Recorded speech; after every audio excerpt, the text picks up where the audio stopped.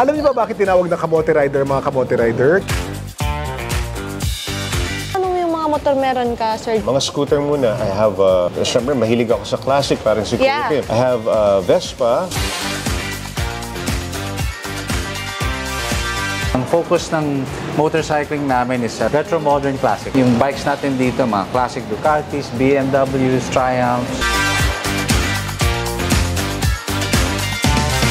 Please support Philippine Motorcycle Tourism. Natutulungan na natin yung ekonomiya, no? Natutulungan na natin ang turismo. Hello,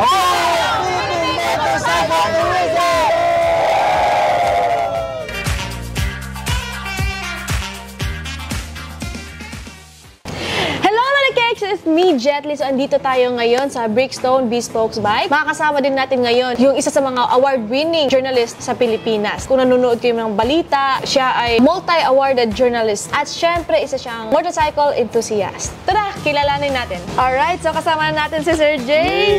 It's been a while. Oo nga, it's been a while, oo. August 17, 2019, last Nung, nating nung last ka nag-guest sa amin, Yes. diba? Sa Ride Radio. Pero Right. tagal na nun. sobrang tagal na natin hindi nakita. Puro sa vlog mo na lang ikaw na nakikita namin. eh. Saka sa social media mo. Eh. Galang-gala. Dahil Kung saan, saan. Buong Pilipinas. Buong Pilipinas. Buong Pilipinas. Actually, Sir Jay, kakatapos lang namin Philippine Loop namin. Grabe. Yes, oh, how nag-Philippine was Loop. it? Kamusta? Sobrang saya. Worth it, yes. Enjoy ang ride. Sobrang nag enjoy ako. Kahit masakit yung likod ko kasi sa grupo namin, ako lang yung naka-super loop. Tapos yung mga kasama ko naka-adventure. Masakit sa likod pero sobrang saya. Lamang ka sa speed. Oo, pero ano lang, tama lang yung takbo namin. Nakita ko, laki ng convoy nyo. Ang dami yung kasamang riders. You went to uh, Bicol, diba? Recently. Yung time na yun, sa tourism yun. Ah, tourism. Okay, okay, okay. So, So, eight kayo nag-Philippine Loop. Apat na Okay, motor lang. Okay. Mm-mm. Kasi mas magaan. Mabilis o okay naman, tama lang. Tama lang. That's nice. Parang feeling ko ako yung ini-interview ni Sir Jay. Dati siya yung nag-interview sa akin. Ako yung nag Ganda-ganda ni Jet Li, oh. Ay, salamat. Na- Naiingit ba kayo? Grabe. Oo. And nagmumotor ka din po ba until now? Oh, yes, yes. Oo. Ah, actually, lalo na ngayong nagbalik yung traffic, nag-normalize na yung traffic, eh wala nang mga quarantine-quarantine, diba? So ngayon, marami ng sasakyan sa kalye. So, what I do, as much as possible, I ride my motorcycle. Scooter lang naman para di ganun kalaki Yeah. yung, yung kain ba sa kalye. Mahal, mahal yung gasolina din sa ano? Mahal ang gasolina, Mahal diba? gasolina. Aside from traffic, it's the prices of the gasoline ang mahirap eh. Ano- Anong-anong yung mga motor meron ka, Sir Jay? Okay, mga scooter muna. I have, uh, syempre, mahilig ako sa classic, parang si Kuya Yeah. Kim. I have uh, Vespa, no? meron akong modern Vespa din, yung uh, twist and go lang. Meron akong Lambretta na luma, 1969. Uh, meron din akong, yung mga big bike natin, yung Harley. Meron akong Husqvarna. I also have uh, a sport classic Ducati. Wow, daming motor. Oo nga eh. Daming Sa motor. ngayon, ang bilang ko mga 8 sila eh. So, sa 8 na motor, ano yung pinakaunang motor? Right now, pinaka-unang motor ko is the Harley Davidson Sportster. Uh, yun yung 2002 ko pa siyang bike. It's chill, chill lang yun. Uh, Chill ride lang. Cruiser siya, but I enjoy riding. Mas gusto ko nga yung ganong klase ng riding. If I have to choose, siguro, mas gusto ko yung riding na relax lang para Ah, ma-appreciate enjoy. yung, Ah, ma-appreciate yung sights, diba? Ano yung pinakamalayong ride? Yung dito sa Philippines, siguro, uh, I've ridden as far as siguro Davao yung, from Luzon to Davao. Wow. We've tried riding that. Pero hindi in one go, ha? May pahinga.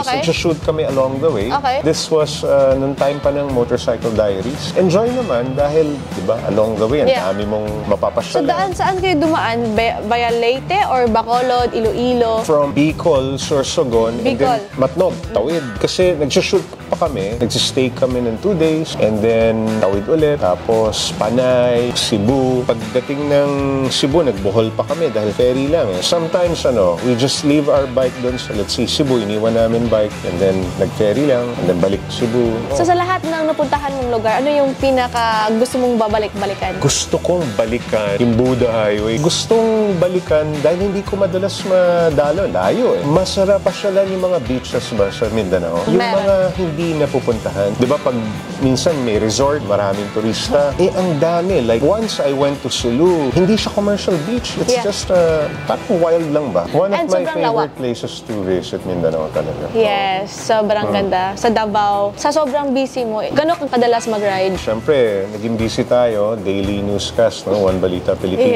Yes.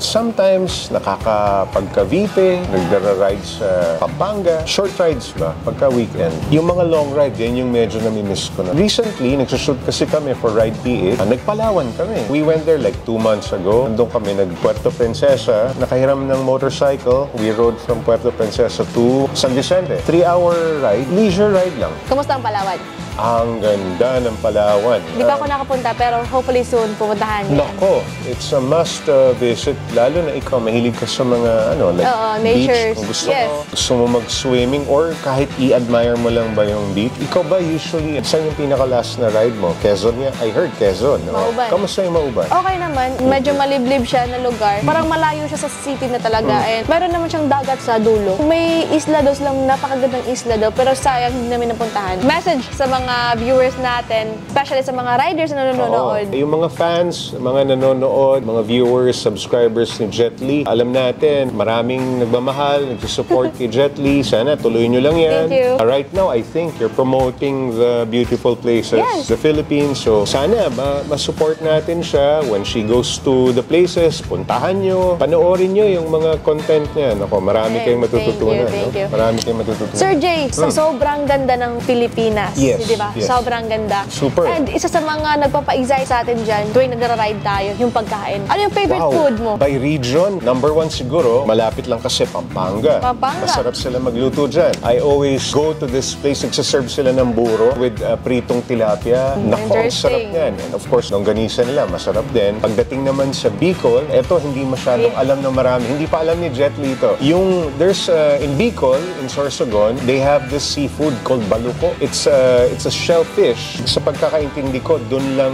na, nakukuha, nahahango. It looks like a big tahong. Okay. A malaking tahong. Pero yung laman niya, para siyang scallop. Can you imagine? Tapos Ah, deep na-imagine. fried yun. Sausaw mo sa vinegars. Ay, nako, ang sarap. But that's something that I miss, no? Yung sa Bicol. I was expecting Bicol Express. Bicol Express, Laing, Laing, staple na siya yeah. dyan. The next time you go there ulit, try to ask for baluko. In Sorsogon yan, eh. Punta tayo sa, sa Visayas. Sa Visayas, marami. Basta Visayas, seafoods din, di ba? Yes. When you go to Iloilo, there's tatoys, Ang Rojas City is known as seafood capital of Philippines. Yes, talagang magaling na brand ambassador ito.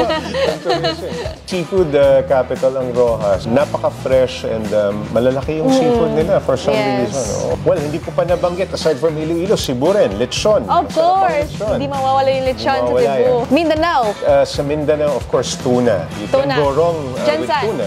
Gensan. Pagpunta ka ng Gensan, ako, ang lalaki. Tuna pa nga. Yes. Yung belly, yung ihaw lang. Tapos may butter and garlic. Mm. Naku, sarap. Sir Jay, nakakatulong ba for you, nakakatulong ba yung uh, motorcycle tourism? I mean, yung paglalakbay gamit yung motor sa ating turismo? Yes, kasi tayo, ang motorsiklo kung saan saan nakakarating. Di ba nasabi mo, Philippine loop ka. Ako, nakagamit na ako ng motorsiklo from Luzon to Mindanao. It's really ano, a good transportation, a good tool, no? a good vehicle for us to promote the beautiful places Yes. around the country. And tayo kasi mga rider, yan ang hinahanap natin eh. The best sites, the best food, Yes. gaya ng question mo. And of course, the people. Yes, sobrang warm, di ba? Kahit saan ka magpunta, always friendly sila. Yun yung pinaka inaabangan ko, naka-excite sa akin as a rider. Kung pupunta sa iba't ibang lugar, yung mga tao talaga, grabe yung ano nila, yung pag-welcome. For example, pupunta ka ng Kalinga, iba din yung kultura nila doon. Oo, di ba? tagal ko na hindi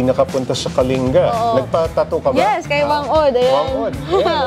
Ayun, oo. Siyempre, uh, Sir Jay, hindi lang tayo nakakatulong sa turismo natin sa mga places, but also we can Yung showcase yung, yung mga product na, na ginagawa nila. Tapos pag na-promote natin yan, na-promote natin yung tourism, na-promote natin yung livelihood ng mga tao, yung talent nila, of course, we're also helping the economy. Kikita sila, magkakatrabaho, magkakaroon ng Oo. additional business. Lalo na ngayon sa panahon ngayon na kakabangon lang natin Exactly. Sa pandemya. So if we promote our tourism, we're also promoting the livelihood Yes. and maangat natin yung antas ng kabuhayan ng mga tao, di ba? So, ayun, pagtulong-tulungan natin, di ba? Mm. Yes. Like, uh, kami natutuwa kami sa ginagawa. Keep it up lang. Oh. Any message sa mga turista natin nagpaplanong mag-travel? For the riders and non-riders, nako, I would encourage you kung ayaw nyo pa magmotorsiklo at medyo hindi pa kayo ready. But for all the tourists who would want to visit the Philippines, I encourage you to to go to the places, especially yung binibisita ni Jet Li. Pag napuntahan ni Jet Li, nakita nyo and you're interested in going there, nako, please do, matutulungan po natin maraming tao. Hindi lang yung mga tao, but our country as well, matutulungan natin. So please do, ano, do support local tourism, domestic tourism. Thank you so much,